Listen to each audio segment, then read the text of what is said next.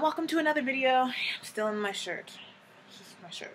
I am on a roll today. I just, I think after so long of not filming, I am just ready to jump into filming every video that I can think of. My brain is just rattling.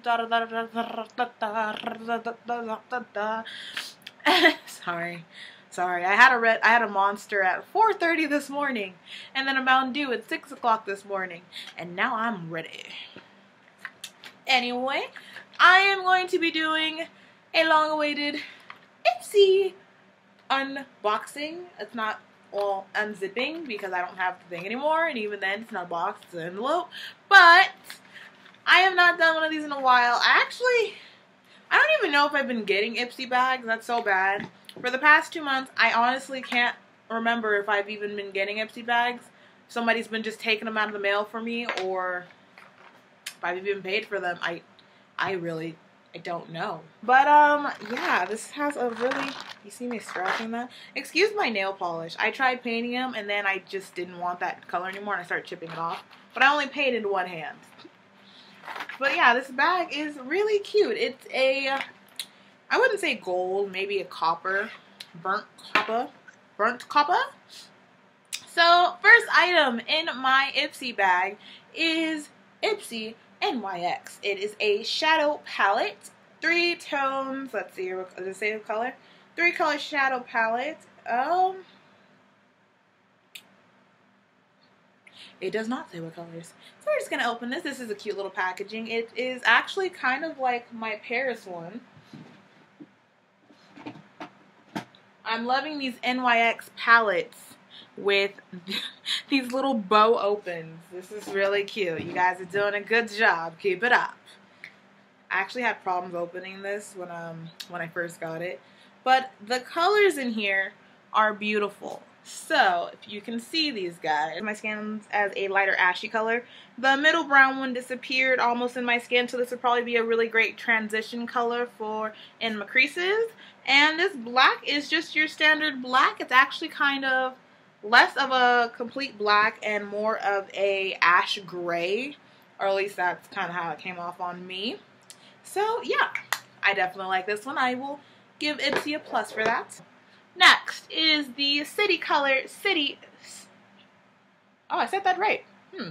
City Color City Chic Lipstick in the color one Night Stand. Mm, never had one of those before. I'm not, I'm not being sarcastic. that was not my sarcasm in its finest. Um, let's see, let's see. Ooh, this is a pretty color. This is nice. I, I like this. Well, um, I can, I can, ooh. So, first, first impression, first of all, love this color. Um, I'm definitely probably going to wear this tomorrow. I love this color. It goes on very smooth. It is not really, it's, a, it's very creamy. A nice little creamy formula. It's not too matte like I do prefer for some odd reason, but it is very nice. City Chic, why do I feel like I've heard of City Color?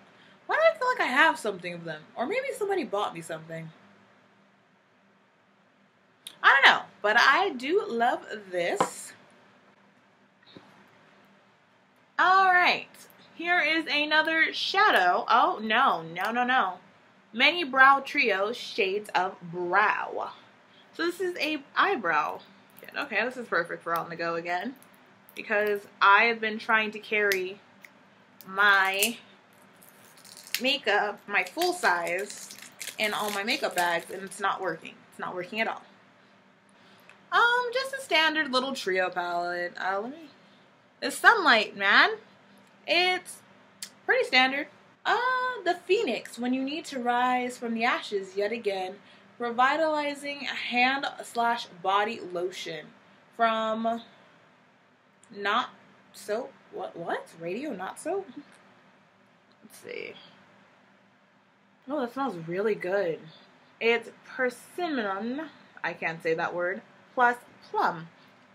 It actually smells really good. And my hands have been getting dry a lot at work because I wash my hands a lot. There we go. Let's see. Okay, it's not it's not too thick. I kind of like thicker lotions because they kind of just they sit on your skin a little bit, but then like when they absorb in, you can feel how soft your hands are gonna be. Okay, let's. I don't think I got any on the back of my hands, and that's how I tell my lotions are good or not. If they go on the back of my hands, nice. Eh.